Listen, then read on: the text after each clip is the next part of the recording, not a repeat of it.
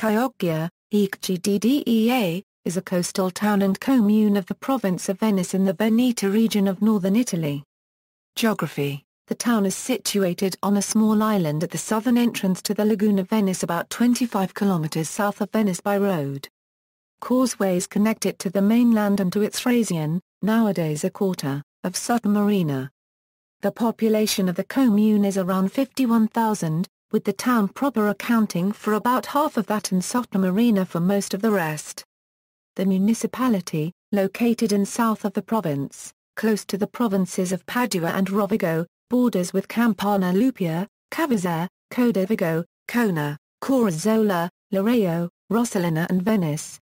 History Chioggia and Sottomarina were not prominent in antiquity, although they are first mentioned in Pliny as the Fossa Clodia. Local legend attributes this name to its founding by a Clodius, but the antiquity of this belief is not known. The name of the town has been changing depending on the historical period, being Clodia, Clusa, Clugia, Chietza and Chioggia. The most ancient documents naming Chioggia dates from the 6th century AD, when it was part of the Byzantine Empire. Chioggia was destroyed by the King Pippin of Italy in the 9th century, but rebuilt around a new industry based on salt pans. In the Middle Ages, Chioggia proper was known as Clugia Major, whereas Clugia Minor was a sandbar about 600 m further into the Adriatic. A free commune and an episcopal see from 1110, it had later an important role in the so-called War of Chioggia between Genoa and Venice, being conquered by Genoa in 1378 and finally by Venice in June 1380.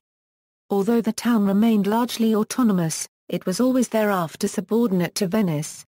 On March 14, 1381, Chioggia concluded an alliance with Zadar and Troja against Venice, and finally Chioggia became better protected by Venice in 1412, because Angstrom Ibenic became in 1412 the seat of the main customs office and the seat of the salt consumers office with a monopoly on the salt trade in Chioggia and on the whole Adriatic Sea.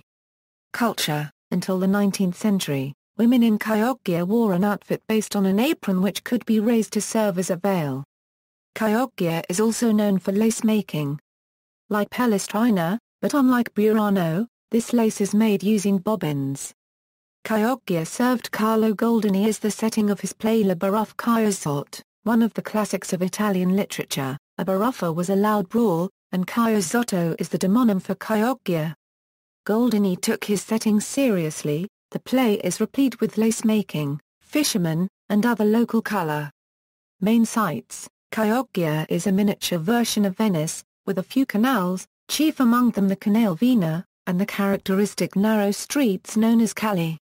Chioggia has several medieval churches, much reworked in the period of its greatest prosperity in the 16th and 17th centuries.